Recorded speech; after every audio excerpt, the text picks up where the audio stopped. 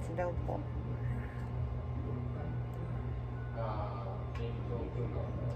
Tatanggal daw yung mga dyan. Yung wrinkles. Dito at saka dyan. Sabi. Sabi. Ewan ko lang kung totoo.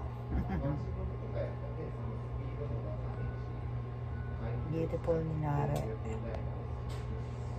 Sana naman matanggal po ang mga pelege sa mata, sa mukha.